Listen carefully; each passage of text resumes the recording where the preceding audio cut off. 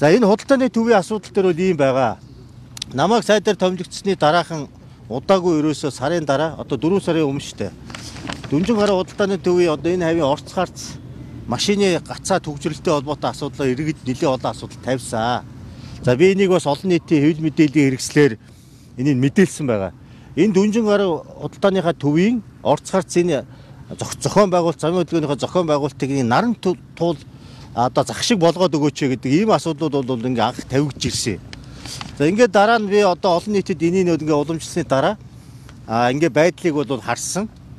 А тэгээ энэ дээр бол ямар нэгэн өлегтэй ажил хийгдэхгүй байсан. Удаа дараа иргэд маань гомдол санал гаргасан хэвээрээ байсан.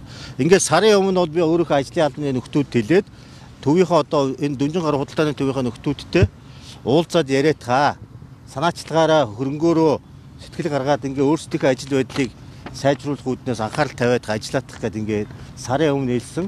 За сайд ирэх шаардлагагүйгээр бид хэд анхааралтай аваад асуудлаа шийдэе гэсэн. Тэгээ 10 та өнөөдрийг хүртэл бол асуудал шийдэгдсэнгүй л дээ. Тийм учраас одоо энэхүү гишүүнд ч асуудал орж ирдэг юм байна. За сайдын хувьд бол надад бол байнга л одоо цахимаар энэ асуудал тавигдаад энд энд бол яг сайн тал байна л да. Худалдааны төв дээр энэ хавийнхын ажилтаа орлоготой болж байгаа юм байна. А нөгөө талаас энэ хаваар орц гарцын замын хөдөлгөөний зохион байгуулалт буруу байгаагаас мөн манай Хотын нөхдүүд маань ч гэсэн анх одоо энэ зөвшөөрлөлийн орц гарцсан юм нэгтэр бас анхаарал бас сайн хандуулаагүй юм байна. Ингээ энэ асуудал дээр өнөөдөр ингээ төгжил гацаа маш их үүсэж байна. Одоо ингээд цагаан сар ойртож байна. Тийм учраас энэ асуудлууд одоо улам хүндрээ бухимдал бас ихсэн. Тэгэхээр ийм зохиомл хүндрэл үүсэхгүйгээр төр үеийн хвшлийн түншлэг гэж ярьж байгаа шүү дээ Батгүй зөвхөн. Тэгэхээр төр үеийн хвшлийн түншлийг нийслэл Улаанбаатар хот нэлээ ярьж байгаа. Тэгэхээр энэ хүрээнийхээ хүрээнд хамтарч ажиллаад энэ мэтийн имийг одоо манайхаа энэ хувийн хвшийнхээ өөрсдөө шийдмээр байгаа байхгүй юу? Одоо энэ ганцхан дүнжин гар биш. Одоо цаашдаа манай Улаанбаатар хотод одоо худалдааны төв захууд гэхэд манай энэ хотын төвийн хэсгээр за баг 23 25 худалдааны төв зах дэлгүүрүүд ажиллаж штэ. Тэгээ энэ болгон дээр өөрсдөө санаачлаг гаргаад төрийг хүлээгээд мань мэтийг одоо юм хийсэнгүү гэж яриад ах хэрэггүй байхгүй. Энэ байдлаа илүү сайн мэдчихэж байгаа. Тэгээ саяны хоёр хувилбар байна шүү дээ. Хоёр хувилбар гэж. Хоёр хувилбар төхөй шийдэл байна. Тэгэхээр замын хөдөлгөөний удирдлагын төвийнхэн бол яг энгийн лог хэлж шүү дээ. Угаасаа тэр цаанаасаа энэ асуудлыг шийдчихвэл одоо мэдээж урсгалтай гайгүй байна. А замын цагдаа гэх юм бол наан нэг 50 м газрын асуудал ярьж байна. Тэгэхээр тооцооллоо юмэр. Одоо энэ хүмүүс чи тооцоол яриад шүү дээ. Инженерийн үүднээс нь тэр инженерүүдээ байгаад тэр тооцооллуудаа хийлгэж хагаад тэгээд энэ зах маань бол татгалцахгүй гэж байна тийм ээ. Тийм бид бол дэмжиж ажиллаж. Одоо тэгээ ойрын үе хийдэж шүү тийм. За.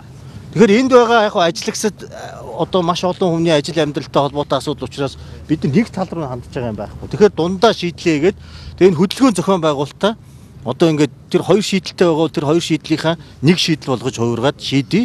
А дээр нь энэ тэмдэг тэмдэглэгээ газар дээр нь ингээд шийдээд бас явъя.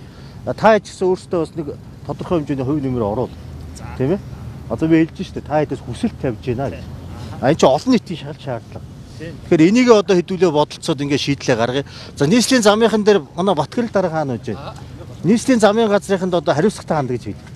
Тэгээ ингээд энийг цагаан сар ордож байгаа учраас одоо цаг алдалгүй ингээд нэг сайд ирээ явцдаг. Тэгээ нэг нам жим болдог. Нөгөө иргэдний хаач чи хүүж таа чи шийдгээс юу болов гэж. Тэгэхээр тооцоолоо игээд дистрата төлөвлөгөөгөө гаргаад тэгээ энэ хугацаа хэдийн ирээ хугацаанд асуудал шийдэх юм. Энийг ингээд шийдэж яваа. Ойлгосноо тийм ээ?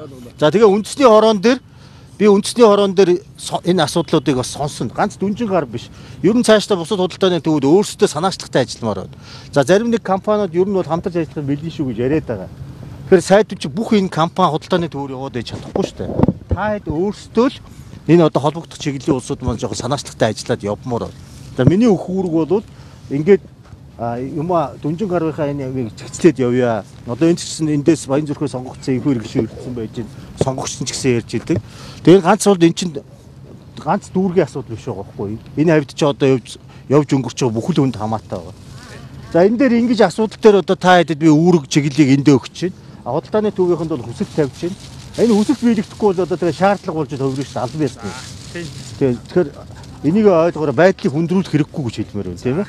Ингээ шийдээд хэдүүлээ явцгаая.